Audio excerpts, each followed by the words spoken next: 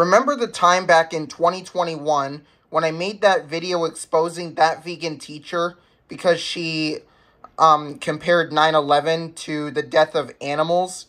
Well, it's happened again. As you can see by the title of this video here, um, she has uh, once again compared um, 9 11, the death of people who she refers as meat eaters, to the death of animals. Like literally, nearly 3,000 people were killed during these attacks. And 6,000 people, oh, 6,000 plus people were injured in these attacks too. With, with some of these survivors passing away from 9-11 uh, related cancers years later.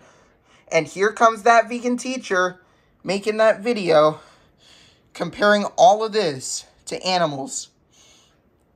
Oh, and speaking of animals, did you know we're animals too? Humans are mammals. Maybe get your facts straight, get your facts together, and realize that.